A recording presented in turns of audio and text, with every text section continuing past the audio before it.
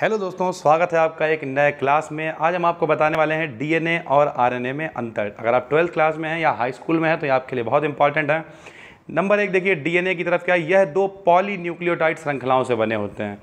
और आरएनए कितनी? केवल एक पॉली पॉलीन्यूक्लियोटाइड श्रृंखला से बना होता है। फिर देखिए, नंबर दो, इसमें पिरीमिडीन बेस थायामीन पाया जाता है।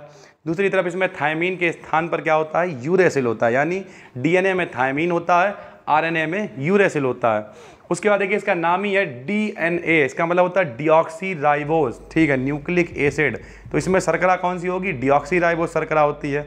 इसमें कौन सी? राइबो न्यूक्लिक एसिड है तो इसमें राइबोज शर्करा होती है। ये अधिक स्थायी होता है, ये कम स्थायी होता है। यह कोशिकाओं की समस्त क्रियाओं पर नियंत्रण और नियमन रखता है। यह सभी कोशिकाओं, कोशिकीय जीवों में आनुवांशिक पदार्थ होता है। दूसरी तरफ़ आप क्या लिखेंगे? यह प्रोटीन संश्लेषण में सहायता करता है, लेकिन आनुवांशिक नहीं होता। कुछ विषाणुओं में होता, वरना यह आनुवांशिक नहीं होता। आपने देखा भी होगा, लोग डीएनए टेस्ट कराते हैं, आरएनए टेस्ट नहीं कराते हैं। तो आनुवांशिक क्या अगर आपको पता करना, आपके पिताजी आपके पिताजी हैं कि नहीं तो आप क्या करेंगे? सर, डीएनए टेस्ट कराएँगे। डीएनए टेस्ट का इस्तेमाल कहाँ होता अगर आपको बताएँ बहुत सारे भूकंप वगैरह आ जाते हैं, वहाँ पे लाशें वगैरह पड़ी होती हैं, उन्हें पहचानना मुश्किल होता है तो लोग क्या करते हैं? डीएनए टेस्ट उनका कराया जाता है, पता चलता है कि ये कहाँ, किसका है, क्या हिसाब किताब है। मुख्य केंद्रक में गुणसूत्र पाया जाता है सूक्ष्म मात्रा में हरित लबक और माइट्रोकांड्रिया भी इसमें होता है। दूसरे में संपूर्ण कोशिका द्रव्य तथा केंद्रक में पाया जाता है।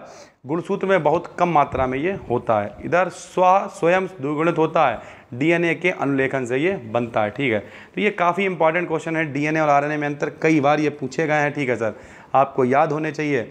ये 2010, 2011, 2012, 2016, 2017, 2000 कई बार आपको अनसॉल्व में मिलेंगे ठीक है? हाई स्कूल और इंटर दोनों के लिए इंपॉर्टेंट है। अगर आप डिटेल में जानकारी चाहते हैं हमारी एप्लीकेशन को डाउनलोड कर लीजिए वहाँ पे आपको पूरे पूरे कोर्सेज एक एक रुपये में मिल जाते हैं। पढ़ना स्टार्ट कीजिए जिस नाम से चैनल है उसी नाम से एप्लीकेशन है।